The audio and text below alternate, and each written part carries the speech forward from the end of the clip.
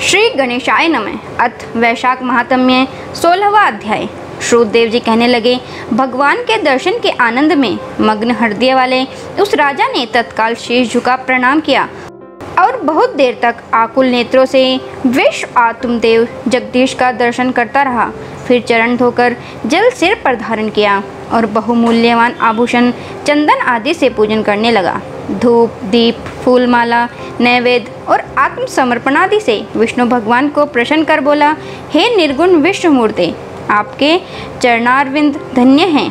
ये चरण शरणागतों के पाप दूर करने वाले हैं।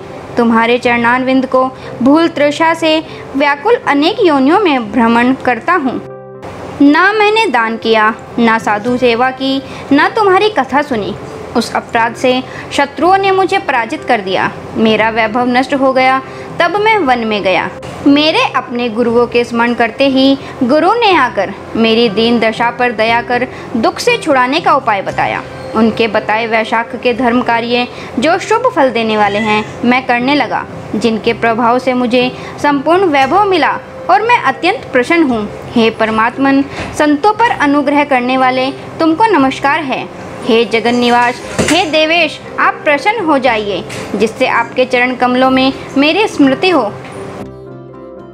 हे प्रभु, पुत्र, स्त्री कोशादी में मेरी आसक्ति न हो। मेरा मन आपके चरणारविंद में लगे, मेरी वाणी आपकी दिव्य कथा कहने में लगी रहे, मेरे नेत्र आपकी मूर्ति के दर्शन में लगे रहें, कान कथा श्रवण में और जीवा आपके कमल गुणानुवाद में अर्पित हो। नाशिका आपके चरण कमल का मकरंद सूंघने में परवर्त हो। हाथ आपके मंदिर की सफ़ाई करने में तथा आपके भक्तों के सुगंध युक्त चंदन आदि लेपन में लगे रहें। पाँव आपकी कथा में ले जाएँ। मेरी मुर्दुआ, सदा आपकी वंदना में, कामना आपकी कथा में, बुद्धि आपके विचार में सदा लगी रहे। साधु संगत और आपके श्रेष्ठ कथाओं के गान में मेरे दिन बीते। हे प्रभु, एक पल भी आपके प्रसंग बिना व्यतीत ना हो। हे विष्णु, मैं संपूर्ण राज्य पुत्र, पौत्रादि किसी की भी इच्छा नहीं करता हूँ। मैं तो आपके चरण कमल की सेवा का इच्छुक हूँ। राजा की ऐसी स्तुति सुन भगवान प्रसन्न हो बोले, तुम पाप रहित, निष्काम, मेरे भक्तों में श्रेष्ठ हो। दस सहस्त्र वर्ष की तुम्हारी अवस्था हो।